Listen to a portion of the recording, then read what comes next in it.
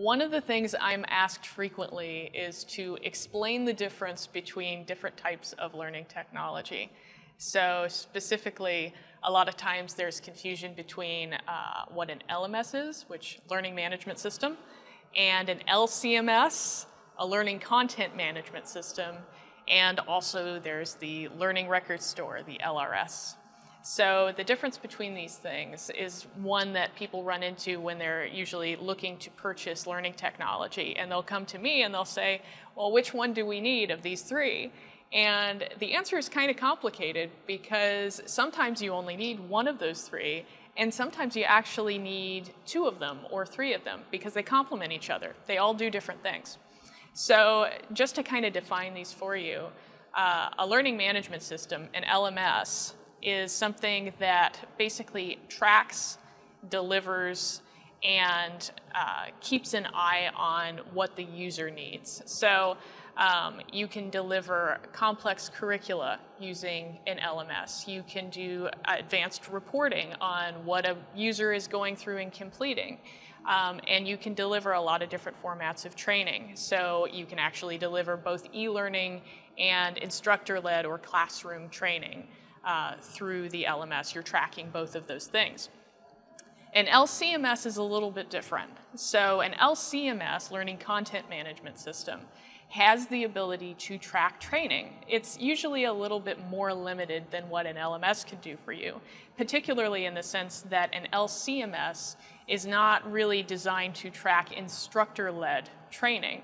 It's just meant to help you basically design content, e-learning content, other forms of content that live within that system, and then deliver that content. So you can think of an LCMS as something that is really useful to your instructional designers.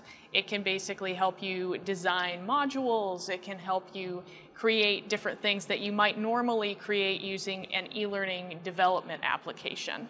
So that's something an LCMS does that an LMS does not do. Then, just to further complicate things, you've also got the Learning Record Store.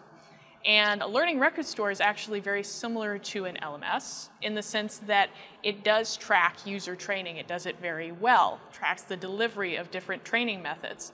But a learning record store is different in the sense that it can actually look outside of its little solar system. So to give you an exact kind of comparison between the two, an LMS, when it's tracking things, it's looking at information, at data and courses that are stored within the LMS. So they've been created within the LMS and they're linked into it, so uploaded or so forth. And it's looking at those things and tracking those things. A learning record store, on the other hand, can actually use something that's called XAPI to reach outside its own boundaries and look at things like, let's say, a browser. Um, if you've got a learner who's going into the browser and viewing, let's say, the Wall Street Journal, the LRS can actually look at that and track that activity and put that as part of the learner's transcript. So that's something an LRS does that an LMS does not do because XAPI is an LRS function. So that's kind of the difference between the three. And the thing is, you can actually have all three working together in concert. You can have the LCMS basically assisting you with creating some of your content, so it's a tool for your instructional designers. The LMS is storing a lot of, let's say, your compliance, e-learning courses and things like that, tracking those things and also helping you put together your curricula for your users and so on and so forth. And then you've got the Learning Record Store that's basically connecting all of these things together and serving as sort of the center of your solar system. So to give you a real life example of that, um, there's a large beverage corporation I'm aware of that has multiple learning management systems. They live in different countries, they correspond to different divisions of that large corporation. And they use one learning record store to basically connect all of their LMSs and also track browser history and other things so that there's one spot that basically serves as a system of record for all of those different things. And that's a really interesting approach that can work very well for an organization. So I hope this has been helpful. Um, it's definitely very important going into any kind of a learning technology selection process to kind of have an idea of the different ways that you could go, the different platforms available to you. So hopefully this uh, tutorial and acronyms has been helpful to you. Thank you.